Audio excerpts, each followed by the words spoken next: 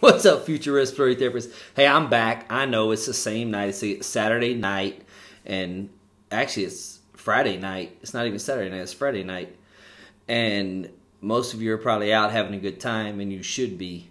Okay, so I don't know when you'll see this, but I'm at home. I got a baby in bed, and so I'm at home here taking care of my baby, and I'm on a roll.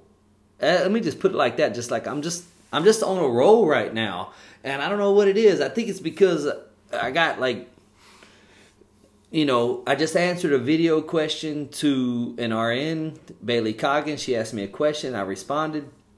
And I just had some responses coming in from that video, and they just speak to my soul. And so, um, Inamu26. I, I don't know if I said that right. I don't even I you know these handles you don't even know what the names are. You you just go with it, right? So Inamu26 put a comment up on the video literally I don't know, 2 or 3 minutes after it was posted.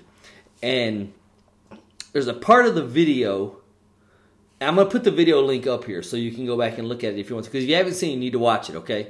I don't I never know if the video suggestions come up on this side of the screen or this side of the screen, but just know that one of the sides of the screens is going to be a video suggestion come up and it's going to be that video response to the nurse's question about setting our peak pressure alarm why we don't set a plateau pressure alarm. You need to check that video out if you haven't. But in that video, I talk about having your numbers up on your ventilator screen instead of your graphics. So so so especially if you work with the Avea, you can choose monitors instead of airway graphics and you get a bunch of numbers. You can probably do that with just about every ventilator. And it's so whack to have these numbers up, okay? And the response I got from Inamu 26 was that she did her clinicals at this site and she asked them about the numbers instead of the graphics. And what they said was was well here at this facility what we do is just do the numbers. And she said i don't know if that's just because they just document the numbers there or if that's because most of them are crts here's here's what i want to say anamu and not just to you but to every freaking person answering this question. And you know what i just had to do I just had to go into my YouTube settings because YouTube sent a message out said, "Hey, you have a channel and you need to say if this channel is appropriate for kids or not." And if it's appropriate for kids, you know, ain't no kids watching this channel. Nobody, no, no, no 10, 11, 12 year old is watching a channel about respiratory therapy. They're just not. So I said, no, it's not appropriate for kids, which is good because it allows me to say exactly what I want to say and exactly the way I want to say it. Here's what I want to say it has nothing to do with them being CRTs, it has everything to do with them being fucking average. Period. You, as a respiratory therapist, have one decision to make. Are you going to take care of your patient needs are you going to be task oriented and get your treatments done and check your ventilators and get all your numbers in the right boxes and then go sit down and watch YouTube channels? Basically, that's what it comes down to. That's the difference. It has nothing to do with CRT. Let me tell you something. Some of the best respiratory therapists that I've ever, ever, ever, ever known have been just CRTs. That is not the difference maker in a person who knows how to take care of a person's a sick person's cardiopulmonary problems. You either take pride in what you do as a respiratory therapist or you don't and you're just collecting a paycheck. And the second pisses me off it just frustrates the shit out of me because we have so much to bring to the healthcare community.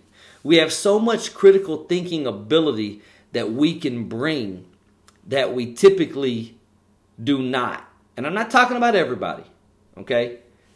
Believe me, I know there's a there's a shit ton of respiratory therapists out there that are addressing your patient's needs and and and dealing with those needs.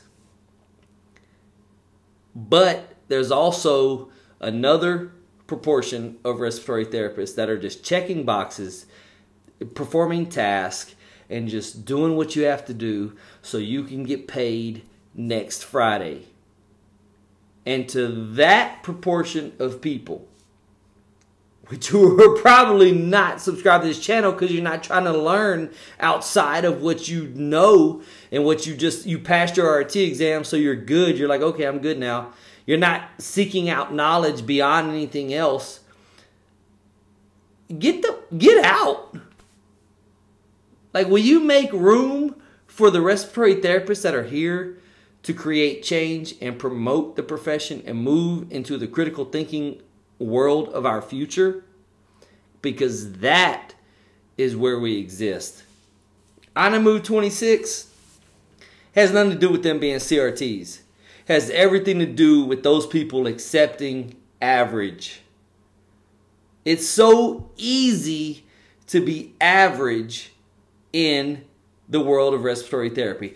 Do your treatments, document your numbers on your vent checks, and go home when your shift is over. Or have a little bit of pride, a little bit of, of patient dedication, and a little bit of desire to help the profession move forward in critically thinking about what you're doing, assessing airway graphics, assessing ABGs, assessing PF ratio, assessing everything there is to assess in this fantastic world of respiratory therapy that can can move us beyond where we are now. It comes down to that. There's so many things: ultrasound at the bedside, uh, patient mobility,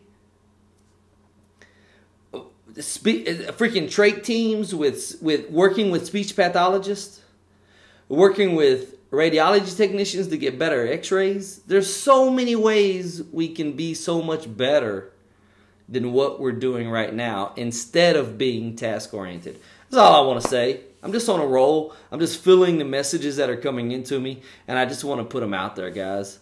Like it don't like it subscribe don't subscribe. If i'm sending a message that you don't agree with then don't subscribe. I'm here for the people who get the message that I'm sending, which is go be the very, very, very, very, very best respiratory therapist that you can be. Be an asset to your nurse, be an pet asset to your physician, be an asset to the entire healthcare team, and most importantly, be an asset and an advocate for your patients. Don't be average it's super easy to be it. So don't. That's what I got to say. Good night, guys.